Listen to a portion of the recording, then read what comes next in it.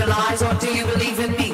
Do you believe in a God that brings you down? Do you believe in a God that wears the crown? Do you believe in a God that makes you bow or do you believe in me? Do you believe in a God that